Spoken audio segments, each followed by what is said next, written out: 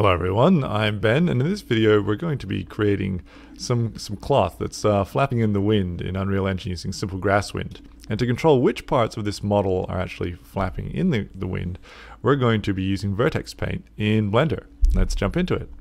So I have my model here and what I want to do is use Vertex Paint to say which parts of this cloth section are going to be animatable.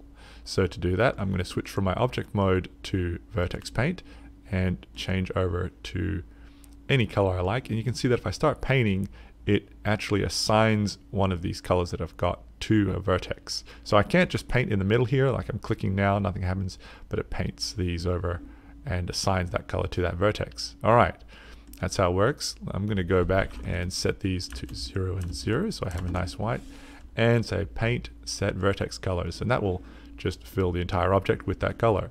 Cool. Now you can see that we've got some paint mask here.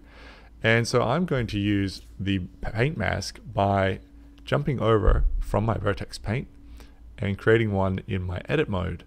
And so here I'm going to select a group of faces and once I have those, I'm actually going to deselect, oops, I'm actually going to deselect this one and I want to select the side faces and the back faces additionally. So I'm going to hold control and press plus on the numpad twice. So I've got it. Great, now that's the only area that I can use my vertex paint.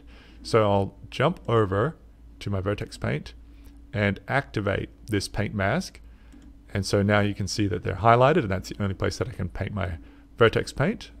Now I want to leave all this rest of this white, painted white in my vertex paint, and the areas that I'd like to be affected by the wind, I'll make them blacker.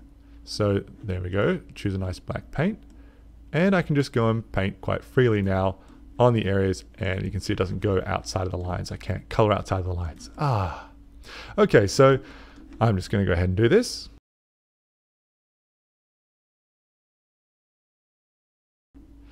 Okay, and with that done, I've now got my vertex paint on my model and it's just a matter of exporting this and building the shader in Unreal. So I'm going to jump out of Vertex Paint and into object mode, press with my object selected, go and say File, Export, and choose FBX. I'll go and give it a name, chair. And then I'm also down under, under my presets. I'm going to scroll down and get to geometry and want to make sure that smoothing for the faces is set. Okay, great. With that done, I'm just going to export. All right, over in Unreal, I'm going to right click in my content browser and import and bring in that chair FBX. And when I do that, I just want to be aware of one particular option. And by default, your FBX import options are probably going to look something like this um, by default. And under mesh, I just want to make sure I open up this show advanced arrow and come down to vertex color import options. Uh, by default, it's usually set to ignore. And so I'm just going to make sure that that's set to replace and say import. That's going to ensure that I get that vertex data in. All right, with it in, I'm going to go and open up my material and go ahead and delete out this color and just bring in the actual texture sample for this chair. Connect that in and the first thing I want to do now is go and say, hey, this world position offset, like the position of these vertices of this model, I want them to be, to be controlled by a simple grass wind. So I'll right click, type simple grass wind, lovely, and say that that's going to run into and control that world position offset.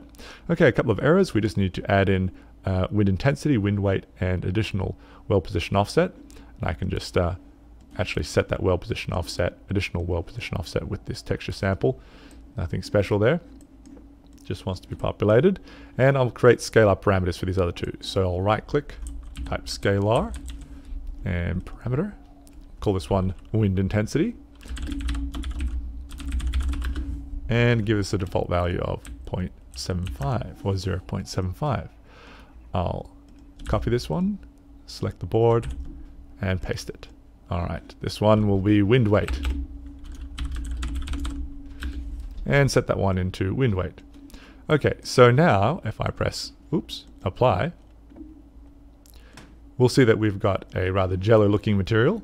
And if I bring this into the scene, we do see that the all the vertices are moving around in the wind. And we want to restrict it to the vertices that we painted in Blender. So to do that, we're going to come back over to our material and I'm going to right click and look for the vertex color. And that's going to give us a little bit more control because now we can pull the vertex color from the actual model that this material is applied to and use that to restrict which parts move and how much they move. Now to blend between those, I'm going to use a linear interpolate. So I'll right click, type linear, interpolate, and drop that down. Alright, so here we are. So this is moving all the vertices, and I need to have a condition that is not moving all the vertices, so I'll press 1 and click the left mouse button. And this is not moving the vertices, this is moving the vertices. And to control which one or how much, which vertices are moved, we're going to let uh, the vertex color from our model decide that. So we'll drive that into the alpha. And then the output of our lerp is the one that actually gets sent to the world position offset.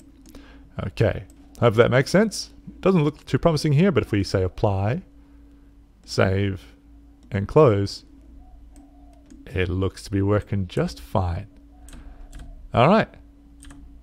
Hope that helps, and I'll see you in another video.